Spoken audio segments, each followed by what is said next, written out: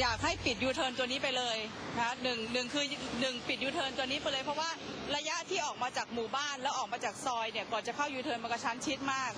มันโอกาสที่เกิดอุบัติเหตุสูง แล้วก็ประเด็นที่สองก็คือแยกคนให้ปลอดภัยออกจากรถที่ขับเร็ว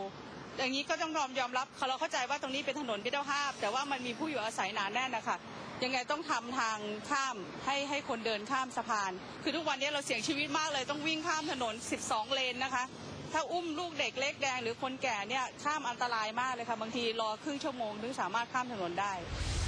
ทางแขวงทางหลวงขอนแก่นเองนะครับ ก็ได้มีการเสนอความต้องการนะครับ จะมีอยู่สองอสองอย่างนะครับก็คือออย่างแรกก็คือการขอ